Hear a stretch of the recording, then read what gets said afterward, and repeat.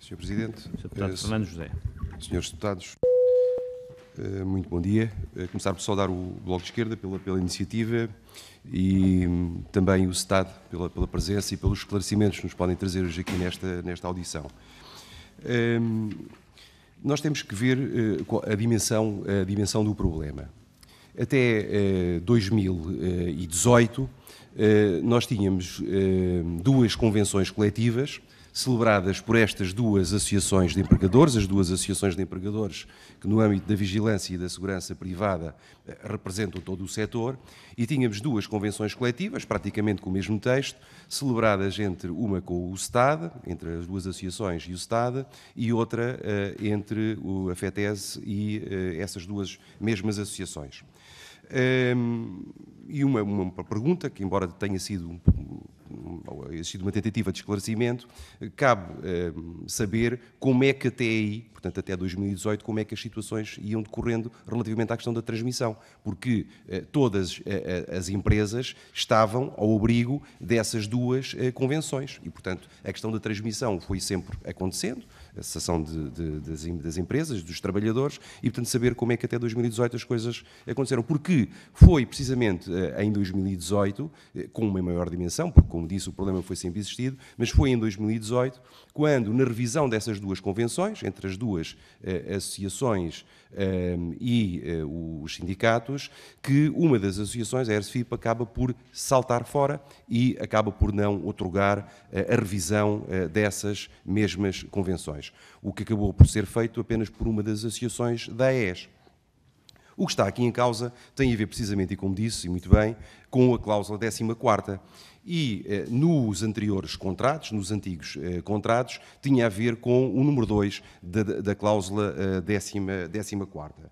E nesse número 2, aquilo que, que está escrito, está plasmado, é que não se enquadra eh, no conceito de transmissão de empresa ao estabelecimento a perda de cliente por parte de um operador com a adjudicação de serviço a outro operador.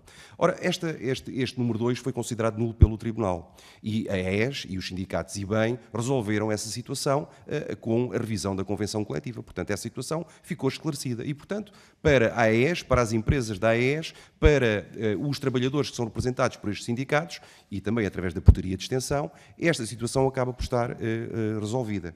Ora, aquilo que acontece é que a ERSFIP vem, eh, numa negociação com outra associação sindical, eh, a manter eh, o teor deste número 2 da cláusula 14ª. E, portanto, vai verter, ou verteu nessa, nessa celebração, porque se trata de uma celebração de um novo contrato, vem aqui colocar este, este, este número 2, este número dois, que certamente será acreditamos nós, declarado nulo pelo Tribunal, mas caberá aos tribunais se pronunciar, porque de uma nova cláusula se trata. Portanto, não estamos a falar eh, da nulidade de uma cláusula que já foi estabelecida pelos tribunais, mas estamos a falar de uma nova cláusula, num novo contrato coletivo. A nossa opinião, eh, tal como foi declarado pelo, pelo, pelo Tribunal, esta, este- esta redação viola claramente eh, a Diretiva eh, 2001, 23 de 2001, no seu número 1, eh, no seu artigo 1 número 1, linha A, viola o artigo 285 do, do, do Código de Trabalho e eh, viola, obviamente, também eh, a linha M do número 3 do artigo 3 do, do, do Código de Trabalho. Aquilo que temos ne- neste, neste momento é que o contrato coletivo celebrado entre a ASFIP e a outra associação sindical eh, vincula apenas, ou é apenas aplicável, aos empregadores filiados nessa associação de empregadores e aos trabalhadores filiados nesse sindicato.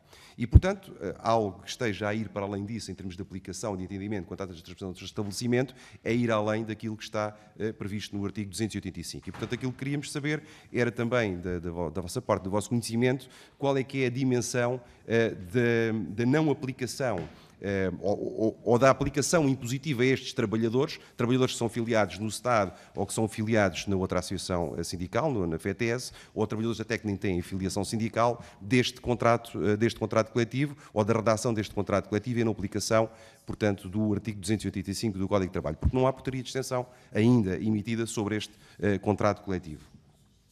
Depois, eh, e, para, e para- e para terminar, eh, tentar, eh, tentar perceber também se, relativamente aos trabalhadores que neste momento estão abrangidos por esta. Qual é a dimensão dos trabalhadores, do número de trabalhadores efetivamente abrangido por esta associação, por esta associação sindical. Se tem esse conhecimento também, estamos a falar de que número de, de, de, de trabalhadores. E, e, para já ficava, ficava por aqui.